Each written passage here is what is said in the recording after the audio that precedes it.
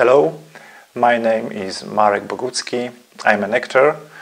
I studied in uh, actor school in Łódź. Now I work in Warsaw and Krakow in Theatre Bagatela. Also in films, series and commercials. That's all.